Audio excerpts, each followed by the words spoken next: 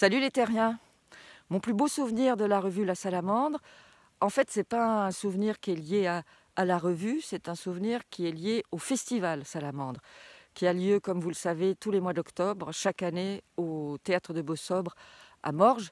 C'est le grand rendez-vous des curieux de nature. Et en fait, c'est pas vraiment un souvenir, ou si c'est un souvenir, il est sans cesse renouvelé, c'est plutôt une sensation.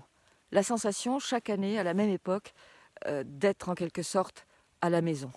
À la maison avec des gens qui partagent cette même passion de la nature, le goût de la nature, l'envie de se battre pour, euh, la, pour la protéger, pour la préserver. Et puis, il y a les artistes, les dessinateurs, euh, les peintres, les photographes animaliers, les cinéastes animaliers, bien sûr. Et parmi eux, et c'est là euh, que vient mon, souvenir en fait, parmi eux, il y en a qui ont su me transmettre ce goût, non pas de la nature, parce que ça, je l'avais déjà avant, mais peut-être le goût de vivre la nature, d'y être, de m'immerger dans la nature, et m'ont permis de découvrir que j'avais une passion que je ne me connaissais pas qui est celui de la photographie euh, animalière que j'essaye de pratiquer maintenant depuis deux ou trois ans.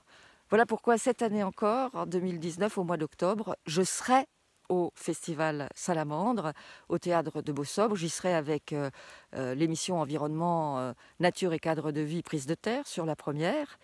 Et j'espère que je vous y retrouverai. Salut